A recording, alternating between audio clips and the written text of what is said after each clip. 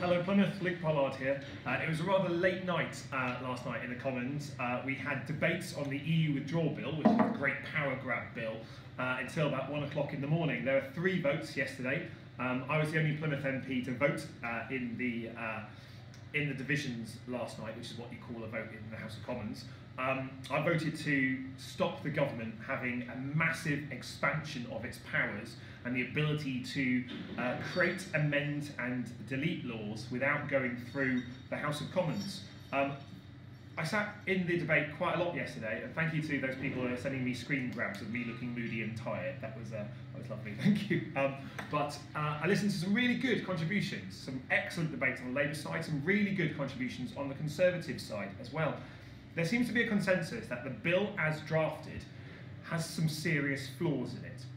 Now, I think the ability for the government to give themselves the power to amend the bill after it's been passed to do whatever they want with it basically means that they can amend the bill to remove all the safeguards, they can amend the bill to remove the restriction that they can't create new criminal charges uh, as a result of this bill, they can amend the bill to do pretty much whatever they want.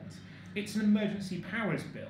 Now, I don't think anyone in Plymouth voted in the Brexit referendum to give the government unfettered, massive expansion of powers without proper parliamentary scrutiny. If I remember that debate properly, it was about people saying we're going to take back control. It's about more democratic oversight. It's about making our parliament sovereign.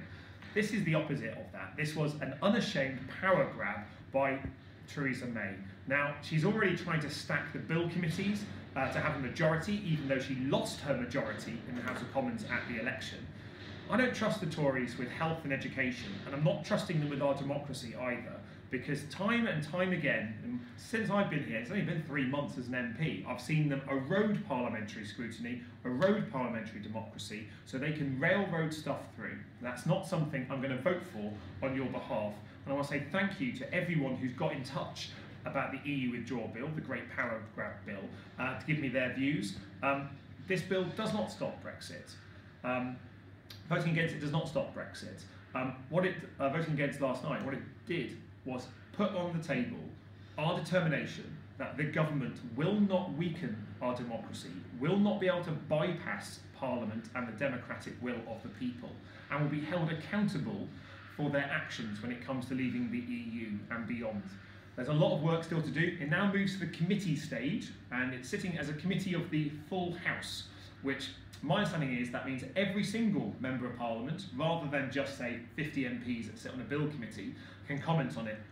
There were some exceptional contributions last night uh, from uh, Conservative Labour MPs that looked at the fine detail of the bill. Um, I'll be aiming to speak in that committee stage to express concerns on behalf of the people of Plymouth.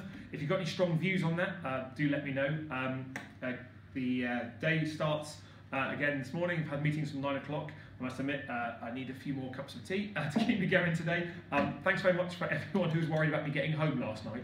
Uh, got uh, got a taxi back, so all, all good. Um, and the work will probably continue late into the evening tonight. So we've got another uh, late series of votes on the finance bill. Um, thanks so much for your time, Plymouth. I'll keep the updates coming. See you soon.